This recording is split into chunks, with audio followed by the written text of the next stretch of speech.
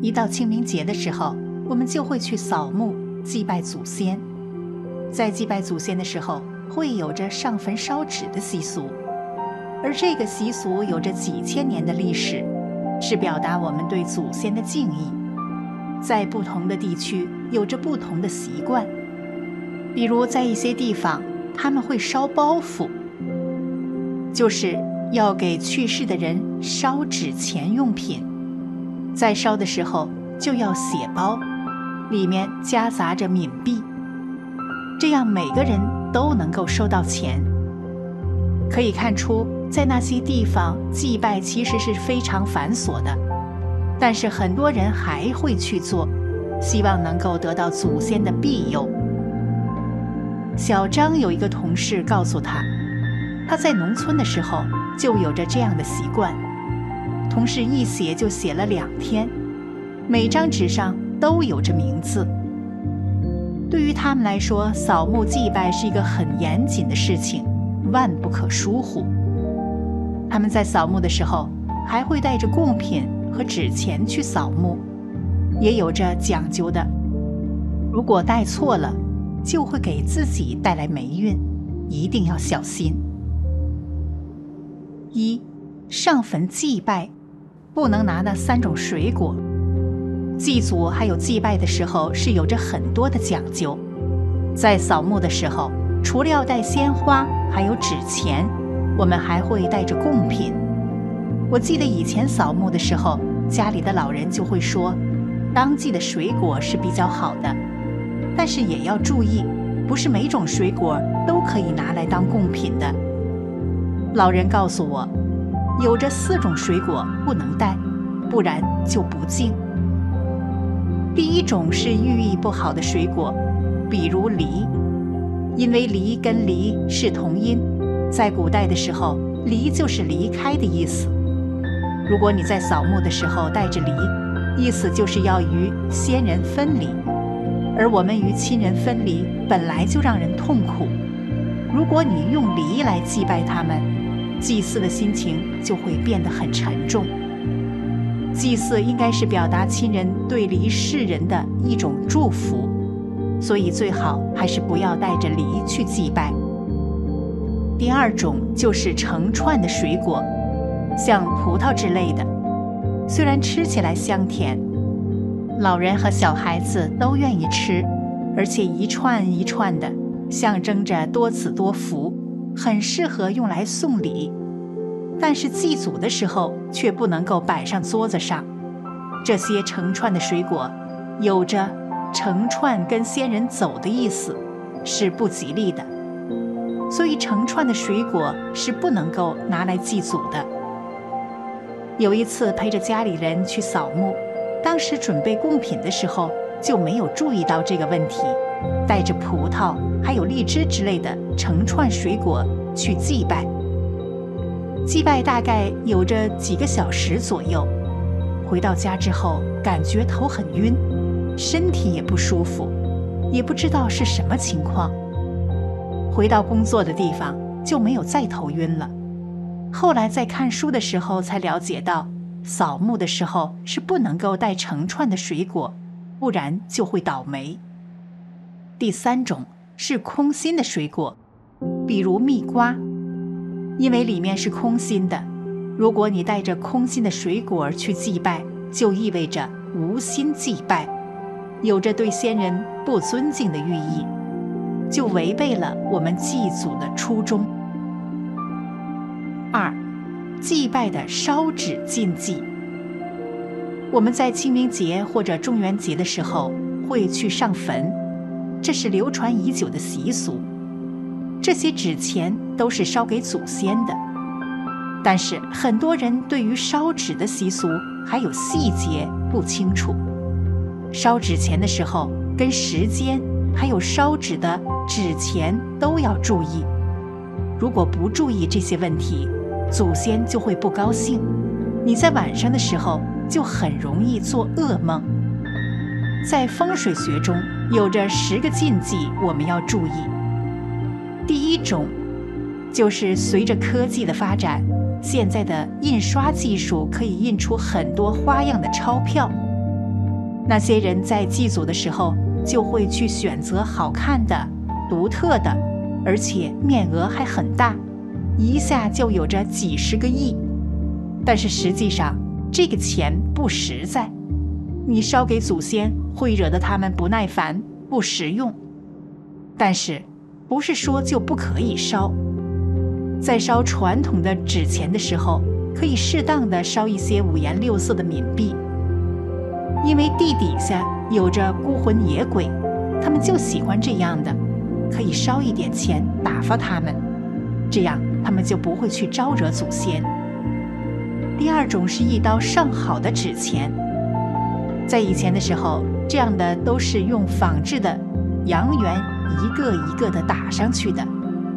现在都是用着比较好的黄草纸，用一张百元大钞压在上面，要让人感觉这一百元是一个印章，从右到左，再从上到下整齐的盖上去，将整张黄草纸都给铺满，这样钱才是实在。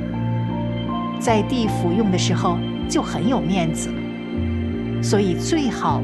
不要用其他的纸，不然惹怒了鬼神，就会遭受到霉运。第三种就是叠纸钱，一刀烧纸要分成七八份，以对角线的方式折两次，这样烧就很方便。因为厚厚的一整摞烧起来不彻底，现如今的很多人都不愿意去叠纸钱，嫌麻烦。所以，往往这样的人生活中就会遇到很多不顺的事情。第四种就是烧纸钱的时候准备的打火机，最好是那种防风的，因为在七月十五阴气会比较重，风就很大。与此同时，你还要准备一个小棍，这样方便你在烧纸钱的时候能够让纸钱充分燃烧，可以就地取材。用完之后就要扔掉，这样是方便祖先能够收到纸钱。第五种就是烧纸钱的时候时间也要注意。有的人喜欢在上午或者下午的时候烧纸，要注意的是，白天烧纸的时候还要默念祖先的名字以及称呼，这样烧纸钱才能烧给他们。不然，如果直接烧，他们是不会收到的。最好的烧纸时间可以天黑之后烧。去烧纸的来回路上，遇到纸钱一定要绕开，不能够踩到。有时候，路口上摆满了纸灰堆，想绕都绕不了。这样的情况就要小心地穿过去。在过去的时候要说一句：“对不起，借过。”要表达你的诚意，不然就会沾染到阴气。第六种是烧纸钱的时候，要在地上画一个圈，但是不能够将自己圈在里面，还要在祖先居住的方向留着一个缺口，这样祖先就能够进来来拿钱，而且还可以防止其他孤魂野鬼来抢钱。第七种烧钱的时候。表情一定要严肃，一定要稳重，不能够随便嬉笑打骂。既然去烧纸钱，就一定要对祖先恭敬，这样祖先就能够感受到你的诚意，保佑你，让你事业学业都能够顺利。第八种就是，虽然我们一直提防着那些孤魂野鬼来抢纸钱，但是我们要注意的是。也要给他们一点钱，因为他们没有亲人送钱，是很可怜的。所以在烧纸钱的时候，可以在圈外丢几张钱，这样他们就不会来烦祖先了。第九种就是烧纸钱的时候，一定要念着谁来送钱了，这是在向祖先表达你的敬意，一定要传承下去。家里的老人在扫墓的时候就念着。今天来看你了，在地底下多花钱，多给自己买一点东西，等等一些话。除了表达了我们的思念的情感，同时还能够让祖先想着我们，保佑我们。第十种就是要做一个有始有终的人，一定要烧完纸钱才能够走，不要急躁，不然就会让祖先不高兴。因为纸钱被风吹走之后会被孤魂野鬼抢走，而且很容易引发火灾，所以一定要注意这个问题。有网友在网上说，有一次邻居告诉我，他在烧纸钱的时候就是没有注意到。烧了一会儿，有个人找他有急事，就临时走开了一会儿。谁知这个时候，忽然刮起了大风，纸钱被吹得到处都是。幸好当时邻居回去的及时，将所有的纸钱全部放在一起，不然就要引起火灾了。而且晚上睡觉的时候，他还梦到了家里去世的老人，老人坐在凳子上，很不高兴。